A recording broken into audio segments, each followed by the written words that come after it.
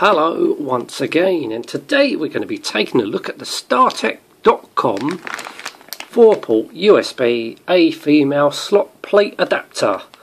Obviously we all know what this is so why am I reviewing it? I do not know. Um, well I got it cheap, you know, USB 2. Does anybody use USB 2 these days? I think they do. And you can never have enough USB 2 ports because majority of all my stuff that I got are USB 2. I don't think I've got hardly any USB 3 things that are required. So what's the point of spending more money getting more USB 3 ports? Well, it's cheaper just to just expand your USB 2 ports. Now the thing with my motherboard, it only came with four USB 3 ports. There was even no USB 2 ports on the back, so I had to buy one of those cards, USB 3 cards to extend, but even that's not enough. So luckily I've got spare headers because my motherboard does have at least two or three headers, USB 2 headers, so why not indeed? I think this just cost under six pounds for a for four. So there's the unpackaging, yeah. Well that's interesting, isn't it? So that's it.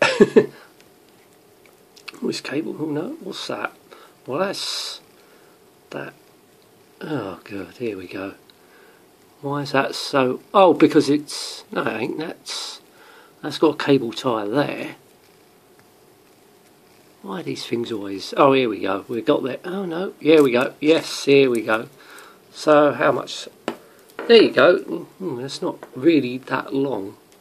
So they're blue at the end. They're the headers, obviously. They plug into your motherboard, uh, the USB 2. And yeah, like Star StarTech.com stuff, they are good quality stuff. So yeah, that would be enough to give me some more USB. Always handy. Yep, that feels pretty solid. Yeah, what more else can I say about it? It feels quite sturdy enough. Oh, yeah, I don't know about wires. I think the wires should be long. I bloody well hope so. Yeah. Well, we'll soon find out, won't we? So here we are at the back of the PC. So we can see they're installed and, you know, the brackets go in quite well. So Oh, wrong way. You can hear that.